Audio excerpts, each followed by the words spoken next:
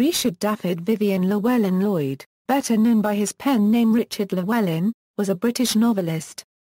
Biography Llewellyn was born of Welsh parents in Hendon, Middlesex, in 1906. Only after his death was it discovered that his claim that he was born in St David's, West Wales, was false. In the U.S., Llewellyn won the National Book Award for Favorite Novel of 1940, voted by members of the American Booksellers Association. He lived a peripatetic life, traveling widely throughout his life. Before World War II, he spent periods working in hotels, wrote a play, worked as a coal miner and produced his best-known novel. During World War II, he rose to the rank of captain in the Welsh Guards. Following the war, he worked as a journalist, covering the Nuremberg trials, and then as a screenwriter for MGM.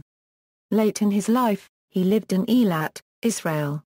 Llewellyn married twice, his first wife was Nonna Sonstenby, whom he married in 1952 and divorced in 1968, and his second wife was Susan Heman, whom he married in 1974.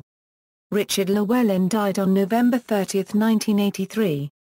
Themes Several of his novels dealt with a Welsh theme, the best known being How Green Was My Valley, which won international acclaim and was made into a classic Hollywood film. It immortalized the way of life of the South Wales Valley's coal mining communities, where Llewellyn spent a small amount of time with his grandfather. Three sequels followed. Llewellyn's novels often included the recurring element of protagonists who assume new identities, such as the character Edmund Troth whose adventures extends through several spy adventure books.